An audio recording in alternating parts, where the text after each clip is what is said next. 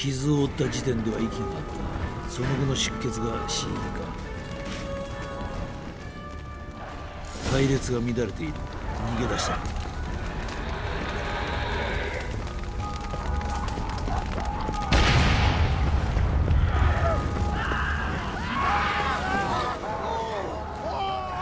が封鎖されている。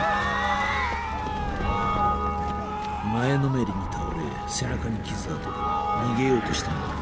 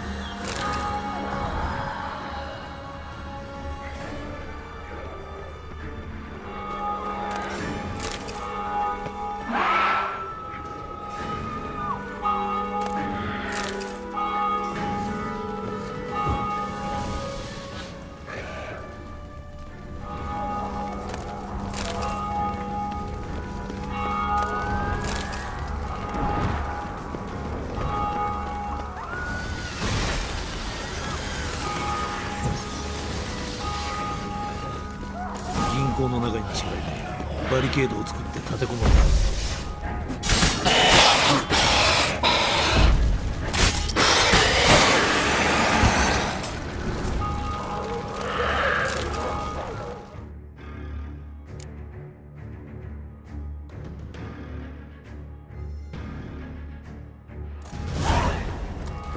倒したお前一人であの化け物は我が部隊の半数を殺したやつだ。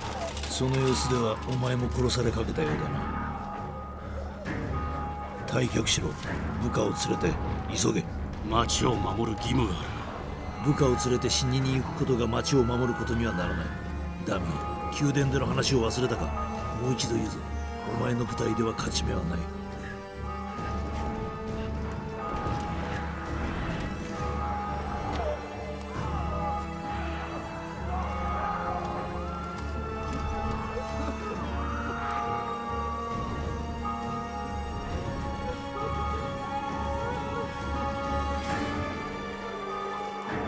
みんな負傷者を助けろ。退却の準備だ。それでいいかよく聞け。銀だ吸血鬼に対抗するには銀が必要だ。仲間の錬金術師に命じてできるだけ大量に吸血鬼のオイルを作らせるんだ。何たるものどんどん作らせてそれを剣に塗れ。アルプとブルクサに気をつけろ。小綺麗な女のような格好をした奴らだ。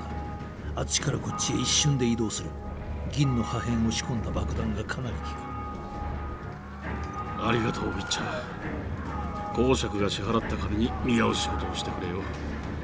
どうかこんなことをしたクソ野郎の首を串刺しにして持ち帰ってくれ。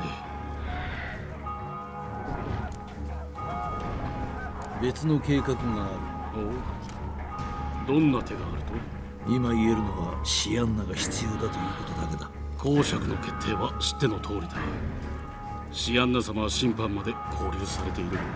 ああ知っている。だが従うわけにはいかない。お前はそうでも俺には無理だ。アンナ様に忠誠を誓っている。無理強いするつもりはない。だが自分の胸に聞いてみてくれ。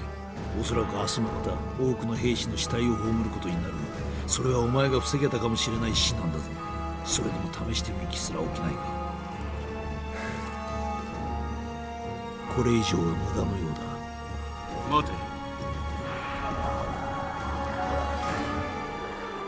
シアンナ様最後に見たのはアンナ様が彼女を宮殿の遊戯室に連れて行った時だ。